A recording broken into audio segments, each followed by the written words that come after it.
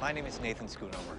I specialize in the occult. I also research what the history is of a location. Why don't you is of a communicate to us like you did to all those people who ignored you? You banged. As hard as you could. And they did not respond.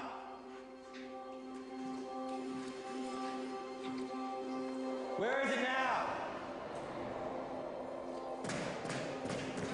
Nathan's really emotionally changed.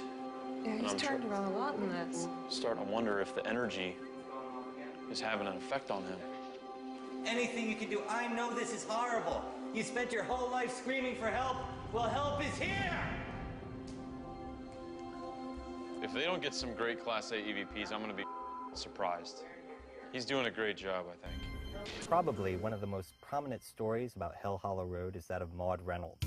It's the two-year-old child who died of diphtheria, a swelling of the throat. That has started numerous rumors. In fact, one of those rumors was that Maud was a witch.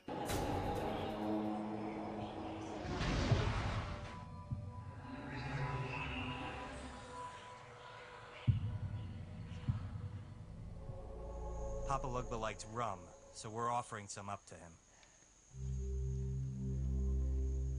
Papa Legba, open the gate, so we may enter.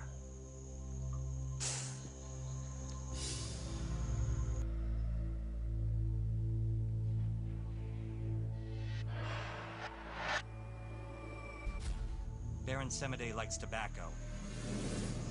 Baron Samedi, we ask you to open the gates at the crossroad to the dead.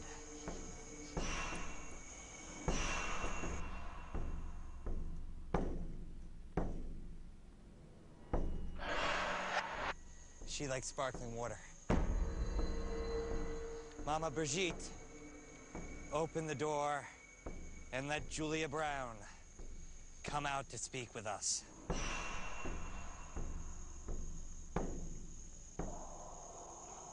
Come through the gate, Julia Brown. One of the important things I've learned about paranormal investigations over the last 20 years is when you're working in a spiritual realm, you really have to focus on the natural, not the supernatural. Just because something happens doesn't mean it's a ghost.